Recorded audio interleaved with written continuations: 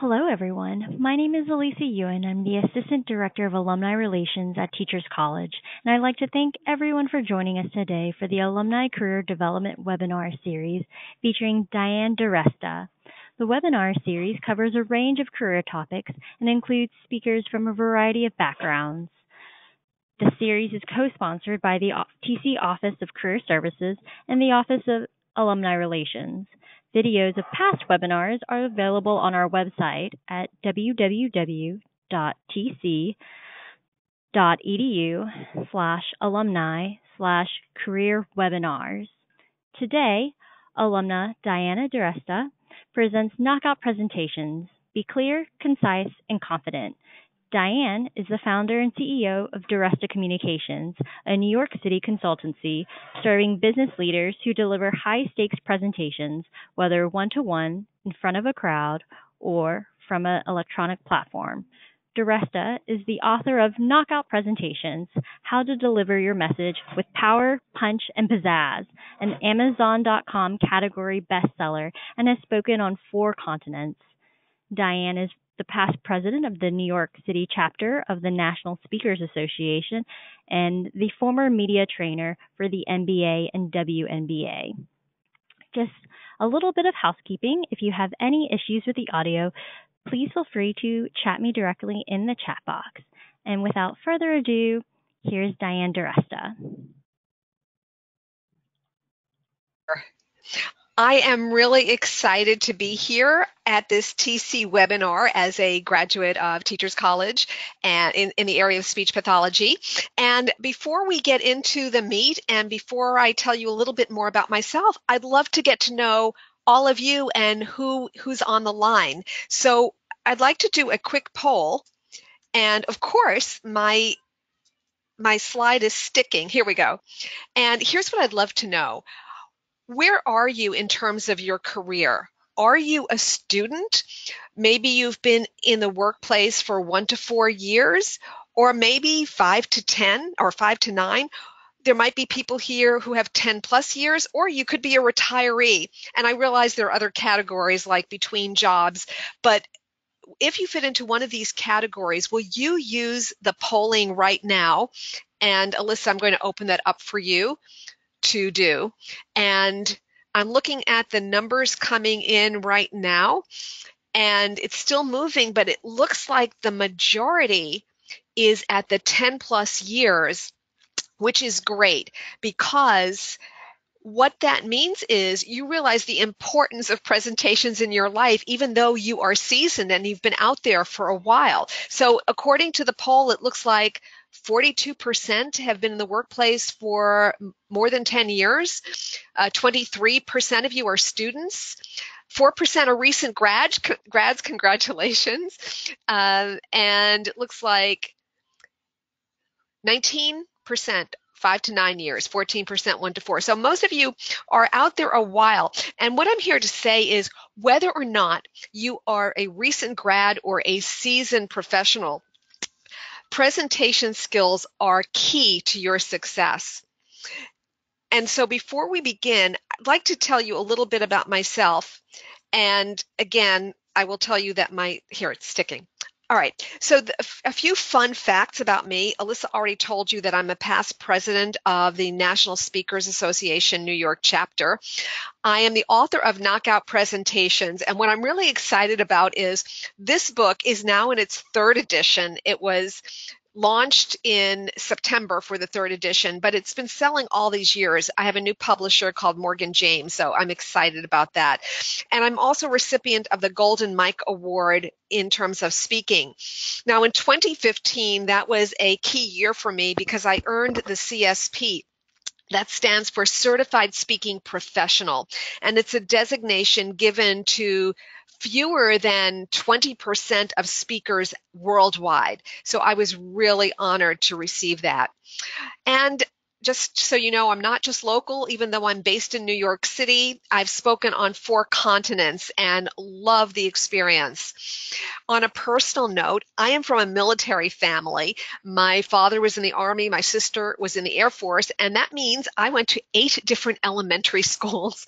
So I've had to learn flexibility and the ability to communicate with all different kinds of people and cultures and most importantly, I am married, but I'm not going to tell you how many years. And I am a big dark chocolate lover, so I am looking forward to tomorrow for Valentine's Day. So, with that, I want to talk about the importance of speaking because what I tell, tell, audiences now is that speaking is the new competitive advantage. You can no longer be without this skill. And it really is a testament to that to see so many people who have 10 years or more experience on this webinar. Here's what's different. Years ago, a senior manager could delegate speaking to a junior leader. Today, the market wants to hear from you. And one of the things that's different is there's so much competition out there. So the ability to be heard above the noise is harder and harder. And that's why you need to have these skills of speaking and presenting. In addition to that, things are now commoditized. And that means that even if you are an entrepreneur and you have created a new software product, it's just a matter of time before someone else can duplicate it. So what helps you stand out among the packed, uh, pack or the crowd is your presentation. So really important to be able to use these skills. Now let's talk about that because what's different too is there's not as much hierarchy in the workplace. And so you may have to influence people who don't report directly to you. And so let's talk a bit a bit about dynamic influence. At the very simplest level, when you give a message, you have your content and you have your delivery or your performance. Now, on the upper right hand side of this graph is the person who's got great delivery. You've seen this person. He or she loves the spotlight. They're funny, they're dynamic, they're very confident. But then, after their entertaining presentation, you leave the room and you say, What did I learn? Not much. And we call that person the showman. High on sizzle, very low on steak. Now, the opposite is the person who does have the content. These are your subject matter experts, but they can't deliver the goods. And so that's called a lost opportunity. And you may be getting a picture in your mind right now of some of these people. As an executive speech coach, this is where I spend a lot of my time working with very smart, technical, subject matter experts, but for some reason they can't get their message across. The worst place on this grid is the bottom right hand corner because these are people who are low on content, low on performance, and that's a somnambulant audience. You can throw away the Ambien, just trot this guy out because he's going to put you right to sleep. But where content and performance intersect, that is dynamic influence. So we're going to be b- breaking this down in terms of delivery skills and messaging and how you can up your game because it's so important today to be able to do that. So where are we going? Let me give you the agenda or the roadmap for this webinar we're going to talk about how to align the visual, vocal, and verbal communication because one of the definitions of executive presence is people who can give off a consistent, congruent message. So the body language, the tone of voice, and the words are all saying the same thing. Secondly, we're going to talk about how to create a clear outcome for your message. In other words, give you laser like focus instantaneously. And then we'll talk about how to recover with grace because you can have all the great skills in the world, a perfect message, but if something goes wrong and you don't know how to recover, that can detract from your reputation. So, with that, I thought it would be fun to start with a brain teaser. So, here it is. How is public speaking like a yam? How is public speaking like a yam? Now, if we were live in the same room, face to face, I would ask you for your answers, but given that this is a webinar, I'm going to tell you what it is. It's actually a formula for everything that you need to know about speaking. Isn't that great? It's really simple. Here it is. Know yourself, know your audience, know your message, YAM. And everything we talk about and everything that you need to know falls into one of those buckets. So know yourself in terms of you being a package of skills. What is your style? What is your personal brand? And then stay true to that so that you can be authentic. Secondly, who is your audience? And that may change from time to time, but how are they wired and how do they want to receive information? That's key. And then finally, know your message. What are the three key points that you want to get across? And then know them cold. And here I know is what everybody is thinking. Well, that's great, Diane, but how do I control my nervousness? I probably don't have to take a poll to ask how many people get nervous before a presentation. We've all heard that it's the number one fear.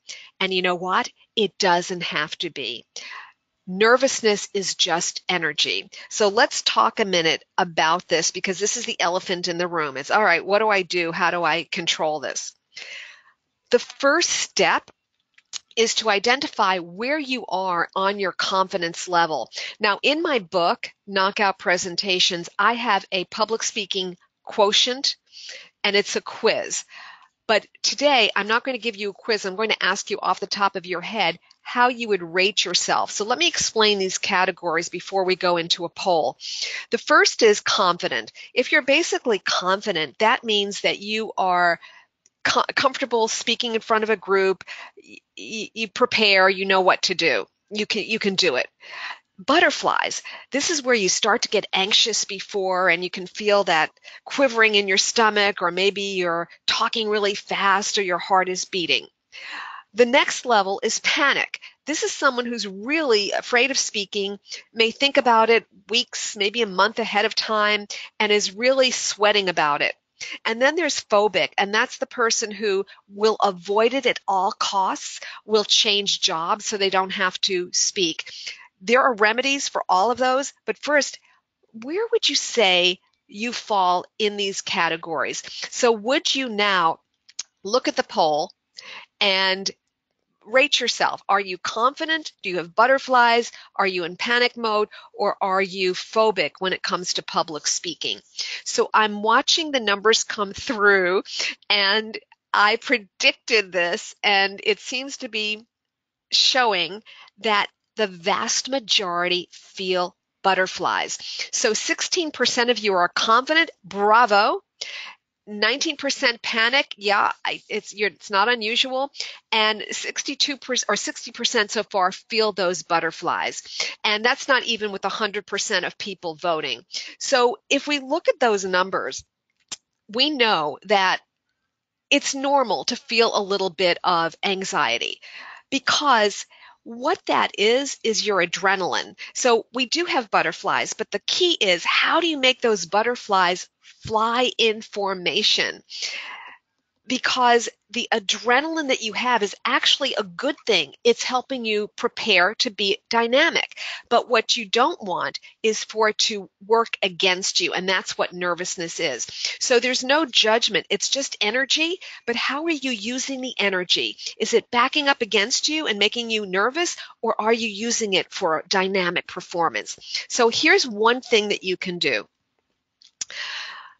It goes to the breath.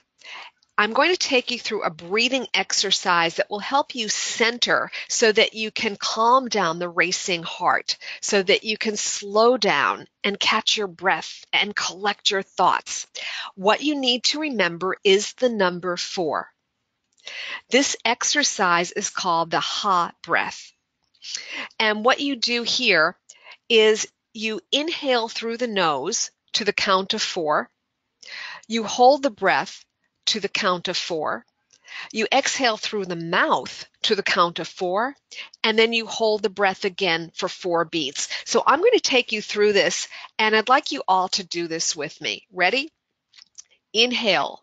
One, two, three, four. Hold. One, two, three, four. Exhale. One, two, three, four. Hold. One, two, three, four. So it's very easy to remember. Inhale four, hold four. Exhale four, hold again for four. Now, here's what's the beauty of this. Not only is it simple to implement and remember, but you can do this in your seat. Let's say you're the next person to present. You can be doing this and nobody will know you're doing it. And what it does is it brings you into the present moment. Why is that important? Because I know if you're nervous, you're living in the future and you're thinking of everything that can go wrong. Oh, I hope I don't trip. I hope I don't get brain freeze. However, the breath brings you back to the present moment. So, in addition to breathing techniques, I also have an ebook called Give Fear the Finger How to Knock Out Fear of Public Speaking. And in that ebook, there are four categories for remedying, if that's such a word, your nervousness. There are physical, mental, behavioral, and chemical remedies for managing your nerves. But at the very least, always come back to the breath. And there are also some really good apps that you can use for meditation. And right before you go into the room, take a moment, two minutes, and meditate and get into a calming state because it really is about presence. Now, here's the question I ask every audience When you walk into a room, do you own the room or does the room own you? Because what is key is how do you create presence on the platform? And I will tell you that a lot of times people don't understand what that is. But we all know when we see someone who knows how to hold the space, who knows how to create that kind of air or presence about them, you feel it, it's palpable. And I'm going to break that down for you. One of the mistakes people make is they forget that their presentation begins the moment they walk into the room. It's not when you say your first words. And we've seen studies where first impressions take about seven seconds or less. So you have communicated the moment you walk in. And so I want to talk about the walk on and the walk off because they are really important pieces of your presentation. And I don't hear a lot of talk about it. Your entrance and your exit can make or break your presentation. Now, let me tell you the story about John. This was a client of mine, and it wasn't his real name, John, but I'm calling him John. He was a lawyer in a corporation, and I was asked to, to work with him on his presentation. And I said to him, John, before you begin your presentation, let's start with your walk on.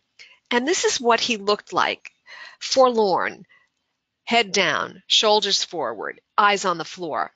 And I turned to him and I said, John, you're walking in with the body language of defeat. It's over before you ever open your mouth. And when you talk about influence, you need to look like you're confident, even if you don't feel that way. So, what I want to do for you today is break down presence in terms of the walk on and the walk off. So let's start with the walk on. Now, normally when I'm in front of a live audience, I pull people up and we demonstrate and coach them. But I'm going to take you through this verbally. The first step is to walk into the center of the room, pivot, and face the audience. Do not walk and talk at the same time. This is all done in silence. Now that you're facing the audience, connect with your eyes. And the way you do that is by looking at two different people, maybe one on each side of the room. Again, all in silence. Now you say your opening line and you pause. And then you say your next line. So let me put this into practice. If I walked into the room, turned, faced the audience, connected with two people, I would then say, Good morning. My name is Diane DiResta. Did you hear that pause? Very often when I coach people, you'll hear something like this Good morning, my name is. No, it is not one sentence, it is two. So you can practice this right after the call. Good morning, my name is.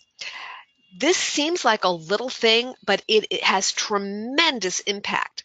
So now what you have is an exchange of energy. You always have an exchange of energy between a speaker and a listener. But if you're talking and walking and you're talking at them, that doesn't happen. Now, the second thing to know is that silence is your best friend. If I asked people, how many of you are afraid of silence? I think most hands would go up. People are. But think of it this way the person who masters silence is the one who's in the better position, the power position. They're the better negotiator, the better poker player, the better salesperson, the better interviewer. Silence is your best friend. Now let's talk about the walk off because you can do a knockout job and lose credibility because of how you end your presentation. So the way that you do a smooth walk off is you say your ending line and you do that by maintaining eye contact and you pause. Now, if there's any kind of applause, then you hold it because I've seen when people rush off, you communicate two things nonverbally. Number one, I'm nervous and I can't wait to get off here. And number two, you're rejecting their gift. Their applause is a gift. So wait till it dies down, look forward, put your shoulders back, head up, eyes forward, and walk off. It's not over until you sit in your seat. So again, when you are walking off, you want to say your last line to an individual. Choose one person in the audience and say that entire line to them while maintaining eye contact and then pause for a moment. If they applaud, great. If they don't, if it's not appropriate, no problem. But the key is stand up straight, look forward, eyes center, head up because you don't want to be rolling your eyes. And I've seen this so many times. People finish and they give off these nonverbal signals, and you've just killed what you did before. Or no smirking. And I've seen this too. People make faces, and you can tell what they're really communicating is thank God that's over. No, you want to hold it until you sit in your seat. That is key. And it is the little things that make the greatest impact. And I will tell you this that there's probably nobody here who has to do an entire makeover. What you need to do are these little tweaks. And the more you use these tweaks, the greater the impact. You will go higher in your presentation. So do little things at a time and don't discount the importance of the walk on and the walk off. So here's what I'd like to know next from everybody. When it comes to your presentations, how do you show up? In other words, where are you spending most of your time? Is it meetings? Is it panels? Is it the phone? Are you on a stage a lot? Do you do mostly webinars? In other words, if you you you may do all of these, but where do you spend most of your time? That's what I would like to find out. So would you now in the poll choose the one where you present most of the time? And wow. At first it said 100% meetings, 79 panels, phone, stage. Okay, 19%. It's still coming in but it's looking like most people spend their time in meetings, and I am not surprised at that at all. So we have 67% who have voted so far. I'm going to give it a few more seconds to see if there's anyone else who wants to weigh in. I don't think it's going to change overall the surprise to me is that stage presentations is higher than phone. I would have thought phone because there's so many teleconferences. But the biggest one, of course, is meetings, and that is exactly what I expected. The key here is to know where you're spending most of your time and to know how to show up. So in meetings, you may either be doing stand up or sit down. There are some differences but we will talk about the skills next and they apply to all of these situations. But the first question is, and I will get to this as soon as we get here we go. when you enter a room, if you are face to face, this is not necessarily phone, but if you are seeing the person, then you are showing up in three ways. They're seeing your body language, they're hearing your tone in your voice, and they're hearing your words. My question to you is which will people believe first? Would it be the body language? Would it be the voice? Or would it be the words? Would you now vote? Which are people going to believe first? What do you think has the most impact? The body language, the tone of voice, or the words? So we're going to wait for that to come in. And we're still in progress, so I want to give people enough time to, to vote. Okay, so half of you have voted so far, so I want to give you a little bit more time. And then I will share the results. And I will share that in a study. All right, so we have 67% of you voting, 69. And you know, it's not really changing the results that much, so I'm going to give it three seconds and what most of you said, 97% of you said it was the body language. Well, let's find out if you are correct. Because there was a study by a professor in UCLA, and he was studying the likability of communication. In other words, he watched people in one to one communication and he was studying how likable they were when they communicated. And he was actually able to quantify these three levels the visual, the vocal, and the verbal. And so here's what this one study showed. The body language was 55% of the message. The tone of voice was 38% and your words were only 7%. What does that tell you about communication? I usually joke and say, it doesn't matter what you say as long as you look good up there. And for the people in the audience, especially the women, it's scientific research for you to invest in a, a wardrobe, but actually it's not the case. Do not take this literally because obviously if I were talking in front of the group or you were talking in front of the group and we didn't have any words, you'd lose all the message. What this says to me, and the reason I keep using this study is when you are nervous or you're unprepared, and one of these goes out of sync, then body language becomes the default. And that means that people will discount what they hear in order to believe what they see. Literally, they will discount what you say in order to believe what they see. So you can understand why that walk on is so important, why that walk off can negate what just went before. You need to show up in a way that's congruent. And I get a lot of requests to work with leaders on executive presence. And often one of these is out of alignment and we put them back together so that they are giving a seamless message because that's what builds trust and credibility. Now let's talk about what gets in the way. I'm going to do this quickly, just touch on a few of these. But in terms of the visual detractors, a weak handshake. People don't know that that is a presentation. It is. Posture is key. Just as we told the story of John, you want your shoulders back. You don't want to tilt your head. You want to look forward and you want to be standing up straight, not bobbing and weaving. The same thing is true when you're seated at a table. And when it comes to gestures, your power space is from your waist to your face. What that means is if you look at where we've cut him off, his hands should be above the waist because that will denote confidence. Gestures are a good thing. You want to use them in a, an effective way to show expression. You don't want to be in perpetual motion and you want to consider the venue and the culture.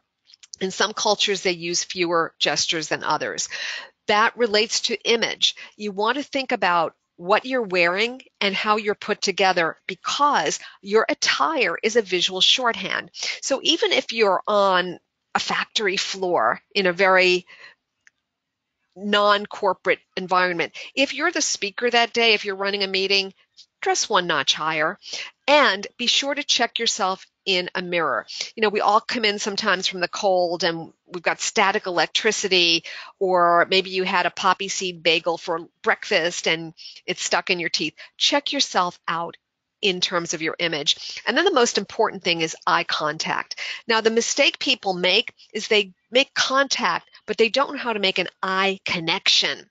So, this is where we take good to great. A person who makes an eye connection will sustain the eye contact. So, for example, you go into a room, you break it into quadrants, and you find one face, a friendly face, and you talk just to that person for a sentence or two. Then you find another person and you talk only to that pair of eyes, nobody else. And again, it's for a sentence or two. Now you go to another section of the room and do the same thing. How long is that? About three to five seconds. And then you find a friendly face on the other side.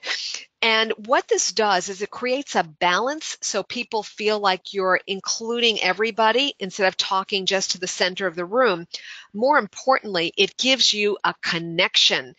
Think about one to one. Your eyes are not scattered. You're sustaining that connection with people. You can do that in a room, at a meeting, or in a large group in the same way. It is a powerful technique. Now, the other thing to think of is your vocal. Now, when it comes to vocal communication, there are some mistakes that people make, and I'll go through these quickly as well. Non words, these are your fillers. Um, uh, like, you know, okay, basically. It's a habit, and we often don't hear ourselves. So, step one is record yourself and start to hear how often you do it. Secondly, the more prepared you are, the fewer ums you'll have. And the more you pause and practice, the fewer ums you're going to have. But it takes practice. Weak projection will not help anyone. If I speak like this the whole time, the image is that I'm timid and I'm soon going to be overlooked. People who are effective communicators project their voice. Now, if you're in a small group, you may be using your conversational voice. But if it's a larger room, you want to project to the back wall. So you need to change depending on the venue. A bigger mistake is speaking too fast. I'm from the New York area. I know I speak quickly, but here's what you can do. You can use the pause. And by speaking quickly but putting a stop where you would have a comma or a period, is going to help the message land. So really important is to master the pause if you master nothing else. Again, silence is your best friend. I can't emphasize it enough. People who are staccato, who speak quickly, are perceived as nervous. People who pause are perceived as confident. I'm not going to go into monotone because I think we can have 100% agreement that monotone is deadly. If you tend to have a flat voice, there are a couple of things you can do. Get louder. As you get louder, your pitch will go up. You can also highlight key words in your notes and then emphasize those key words. Here's the way that you totally get rid of monotone. Ready? Get excited! if you're not excited about your message, message, who is going to be? Now, you may say, Diane, I have a technical, boring topic. And to you, I say, there's no such thing as a boring topic, only boring speakers. Now, yes, if you have a lot of numbers, it can get tedious, but build in stories, build in metaphors, build in analogies. There are ways that you can punch it up. If you are of a certain generation, you probably have some uptalk. Uptalk is a rising inflection. It sounds like you're asking a question, but you're really making a statement. I will tell you this that uptalk will not serve you in the workplace. I don't hear it in executives, but I do hear it in other places, and it is pervasive. So we all need to guard against this. To sound authoritative, make sure your voice comes down at the end of a sentence. So repeat after me. Even though I can't hear you, you can do this at your computer. Ready? Today is Wednesday. Today is Wednesday. Do you hear the difference? That simple downward inflection makes you sound authoritative. And then finally, don't be a talking head where you memorize a script. Have your key messages and then talk to that. That will make you sound like an expert.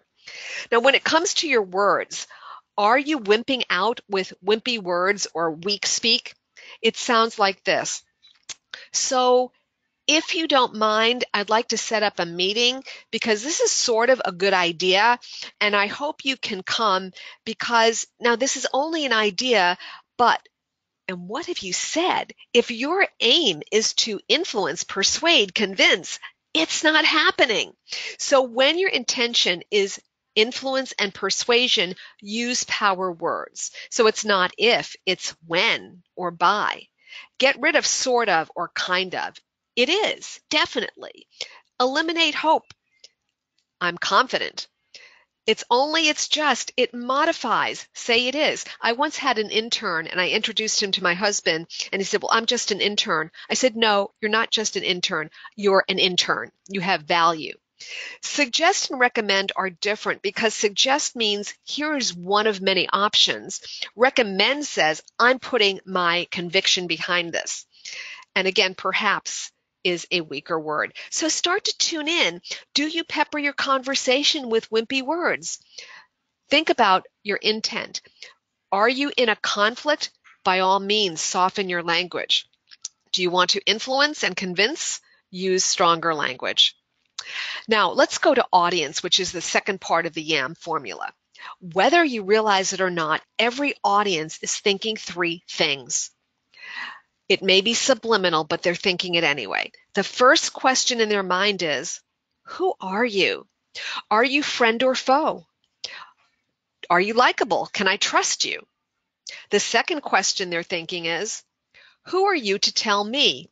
In other words, what are your credentials and how have you earned the right to be speaking here today?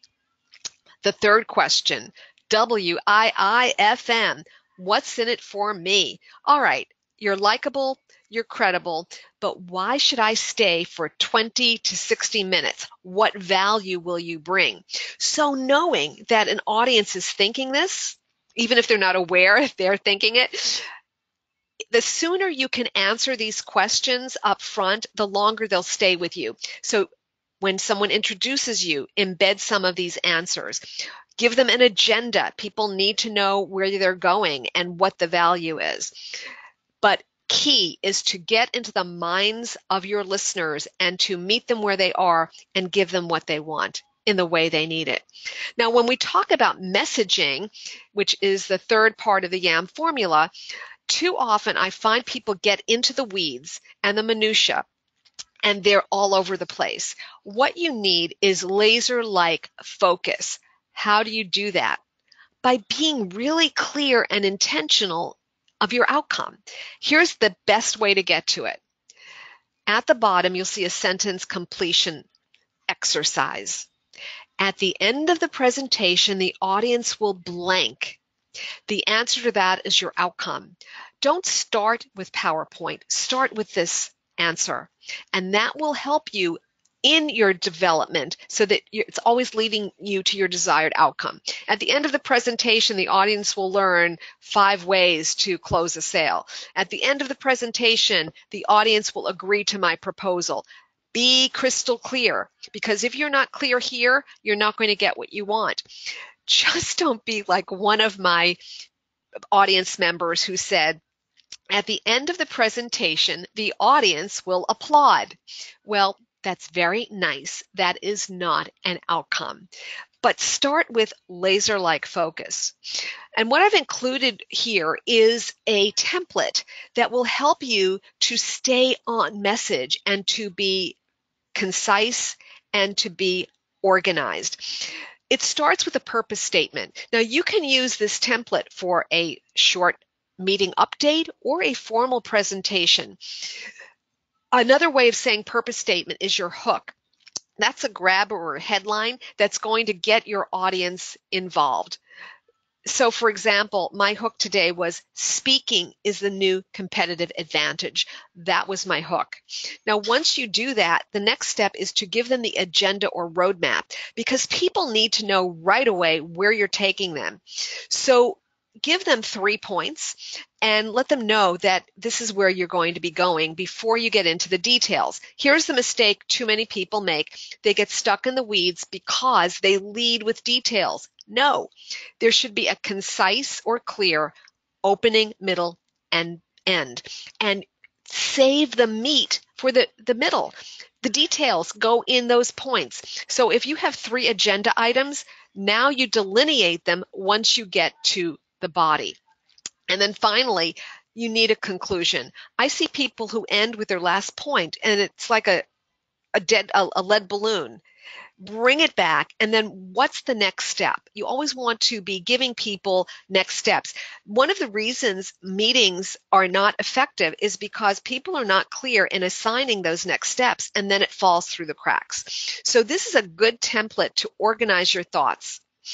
Now here's where we separate the novice from the seasoned presenter I always know a new speaker because they sound choppy there's a lack of transitions or segues. Now, why is this so important? Because the transitions are the thread that weave one idea into the next and creates that smooth flow and that polish. So here are a few. Let's begin with key findings and recommendations. Now that we've covered budget projections, let's take a look at benefits. The next area to consider is marketing. In addition to marketing, there's another area I'd like to discuss. A transition can be a sentence or it can be a question. And if you ever forget your transition, just say, here's where we've been and here's where we're going. Again, these are those fine finishing touches, that little thing that adds great impact. Now, you can be the greatest speaker in the world, but when Murphy's Law visits you, what do you do? How do you recover? And the key here is to recover with grace. To me, the best poster child for recovery is the Olympic ice skater. Have you ever seen when they fall on the ice? What do they do? They get up and they carry on and they know they're not winning.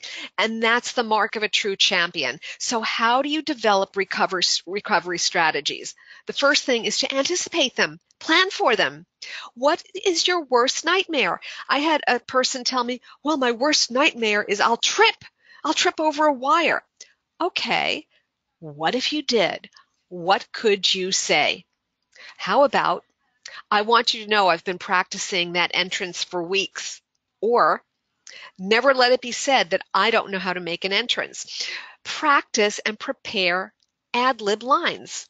These one liners are going to help you if you get into trouble.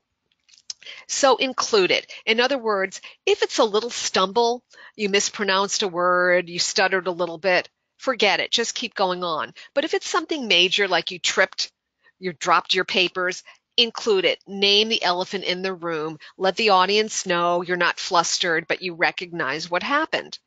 And one of the best ways to deflect any tension is to use humor. I remember years ago, I was at the Ryman Theater in Nashville, and there were these two brothers. They had a duet. They were singing harmony. And in the middle of one of the numbers, one of the brothers cracked. He hit a bad note and his voice cracked. And you know what that's like when you're in the audience, you're cringing.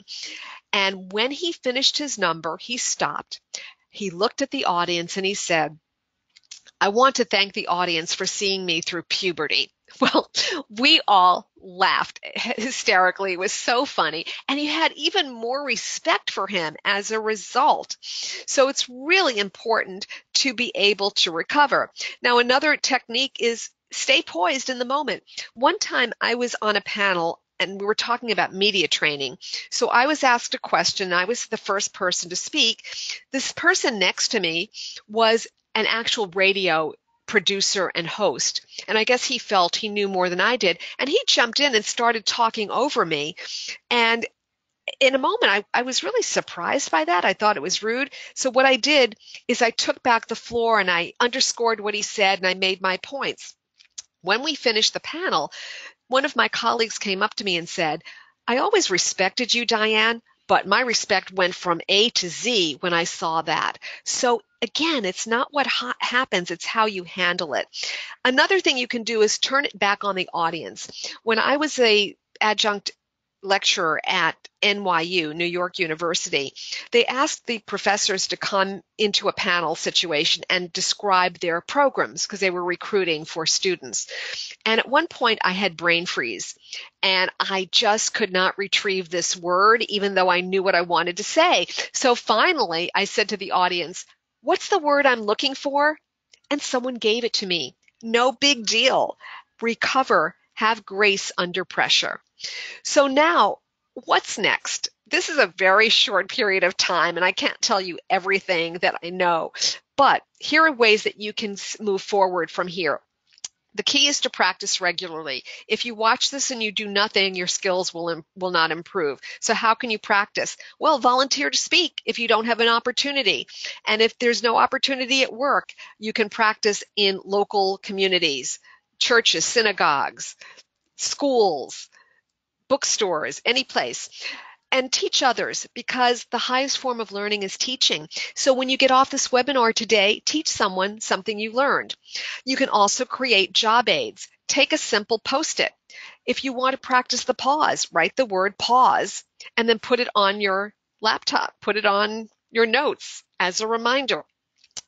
We all have smartphones. Record yourself. You can record audio or video and you'll get a sense of how the audience is perceiving you. And then finally, develop an action plan. Commit to writing one goal that you want to achieve as a result of this webinar. One of the services I have is called the Influential Leader Action Plan. And what that is, is you come to my office and we spend 90 minutes together where we analyze and assess your current state uh, of or level of your speaking, and then we write an action plan that you can implement or take it to the next level. And finally, I want to leave you with some free resources that will help your speaking and your presentation. When you go to my website, diresta.com, on the homepage, there is a free audio course. It's called Seven Deadly Mistakes Speakers Make and How to Avoid Them for Maximum Success. And you'll get them as a series of audio emails. That is a free course for anybody on the call.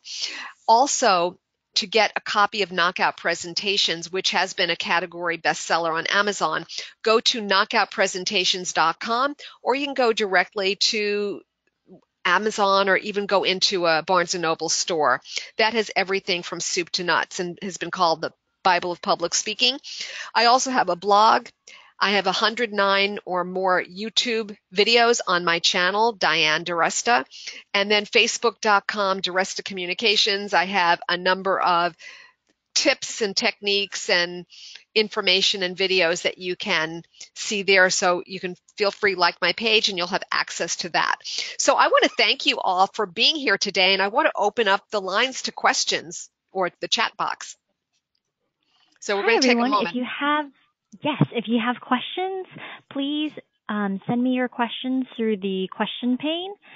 Um, so Diane, I have some questions already for you. Great. So the first question that I have is before I speak publicly, I get very nervous and I imagine the worst. What can I do with this anxiety?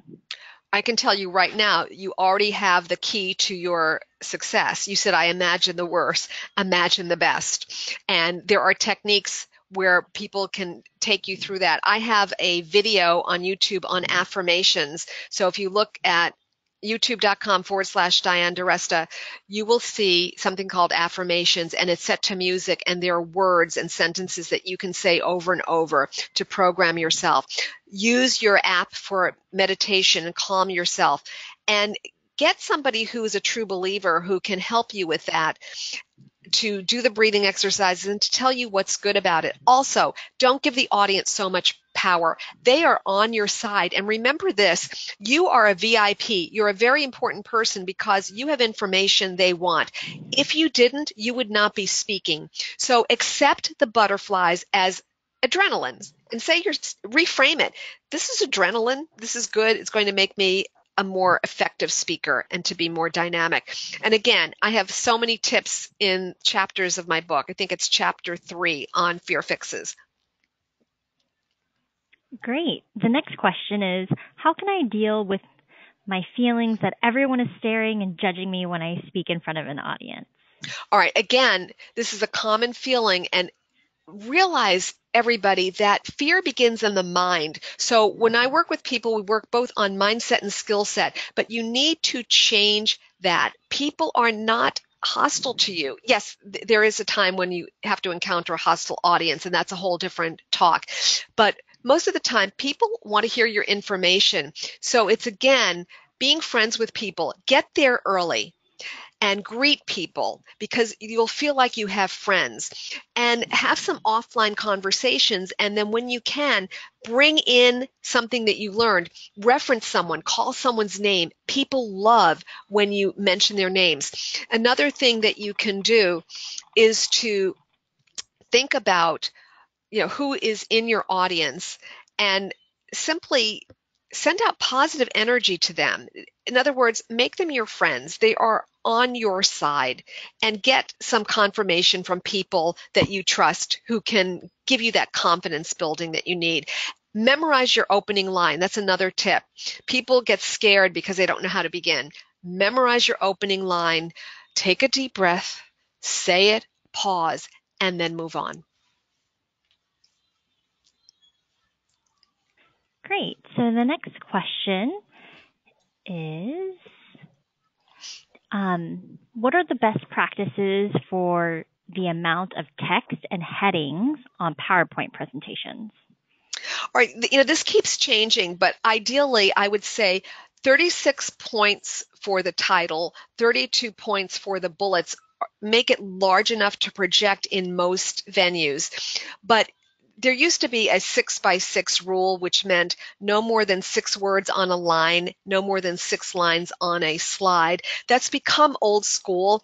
Now it's more about photographs, visuals, keywords. So think images. Now, the challenge most of you will have is if you're working for a corporation, they're not going for that. So try the six by six rule. Fewer, less text, more graphs, charts, visuals.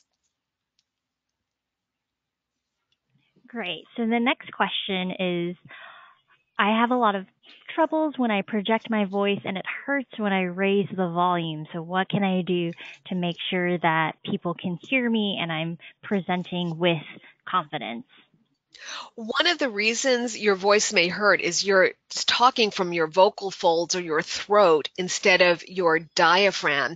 And so I would say work with a voice coach or take an, an acting class where they will work on voice because the best presenters from the stage and the best singers have mastered abdominal breathing so that they can project their voice in a large venue. The other thing I would say is if you have the opportunity, if you, you can get a type of portable microphone to amplify your voice, so that you're not straining it. You might ask for a lavalier mic, even if it's a small group, until that time when you have developed that abdominal breathing.